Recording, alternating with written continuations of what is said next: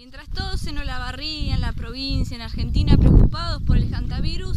así vivimos en el barrio Provincias Argentinas, tapados de cardos, mugre, basura, ratas, escorpiones, y no sigo diciendo porque ya es imposible seguir viviendo de esta manera. Desde octubre del 2018 haciendo denuncias a la municipalidad y pidiendo por favor que limpien estos terrenos, que se hagan responsables y siempre está en la misma instancia, el juzgado de faltas, comunicaciones. Parece que va a tener que pasar algo, alguien va a tener que morir, alguien va a tener que enfermarse para que de una vez por todas tomen las decisiones que hay que tomar y se ocupen de que nosotros podamos vivir dignamente como corresponde.